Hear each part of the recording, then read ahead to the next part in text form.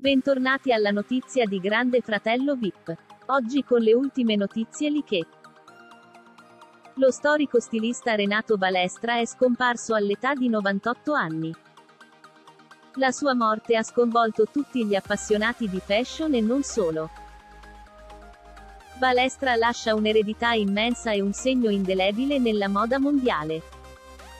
Ecco che è arrivata nella giornata del 26 novembre una terribile notizia che ha lasciato letteralmente tutti senza parole.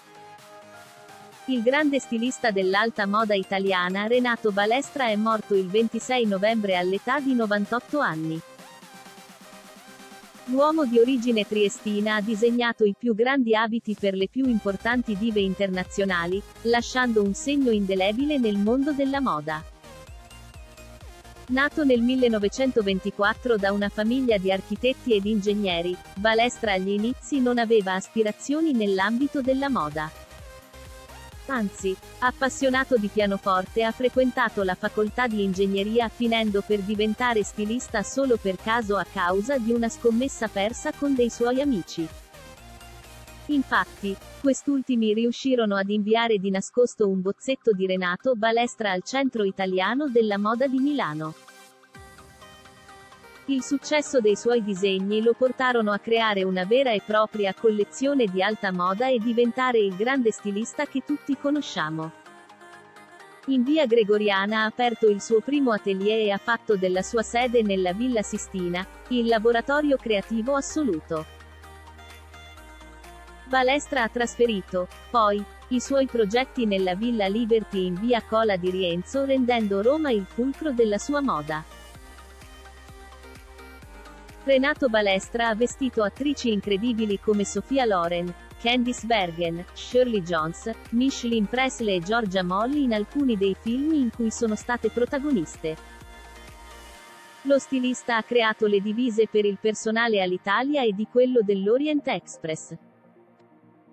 Lo stilista è stato in grado di dare vita ad un colore personalizzato, il celebre blu balestra, che riprende una tonalità di blu unica, sgargiante, iconica per la sua casa di moda. A tal proposito Balestra aveva dichiarato, ricordo mia madre che raccontava di me da piccolo e diceva che mi dava 5 o 6 vestiti e io sceglievo sempre quello blu. Lo stilista è partito dai vestiti per poi creare ogni tipo di prodotto e oggetto dagli occhiali alle valigie fino ad arrivare agli articoli casalinghi.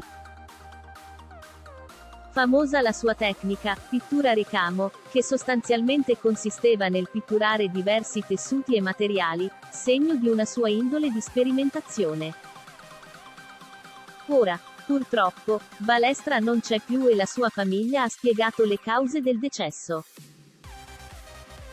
Morte e funerali di Renato Balestra. L'azienda di Renato Balestra era ormai gestita dalle sue figlie Fabiana e Federica e da sua nipote Sofia le quali hanno spiegato il perché della sua scomparsa.